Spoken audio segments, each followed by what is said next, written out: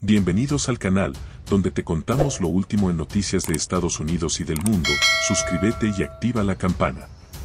Los republicanos de la Cámara de Representantes abrieron una investigación contra el Bank of America por entregar información de clientes a la FBI.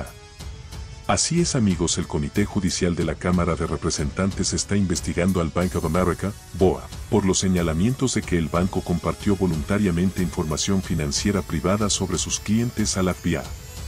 Tanto el representante republicano Jim Jordan como su colega Thomas Massey le entregaron una carta a Brian Moynihan, director ejecutivo de la entidad bancaria, solicitándole más información sobre la cooperación entre el banco y la agencia federal. En la misiva le indican a Moynihan que la fecha límite para entregar todos los registros relacionados con el caso es el 8 de junio y le piden su cooperación para investigar los hechos.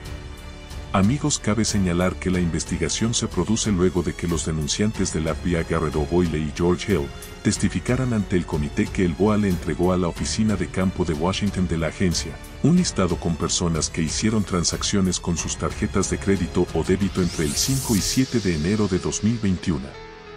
Según uno de los denunciantes, la entidad bancaria entregó voluntariamente esa lista y colocó en la parte superior a todas aquellas personas que compraron equipos de fuego sin ninguna directiva por parte del FBI. Y amigos, otra colaboración entre el BOA y el FBI.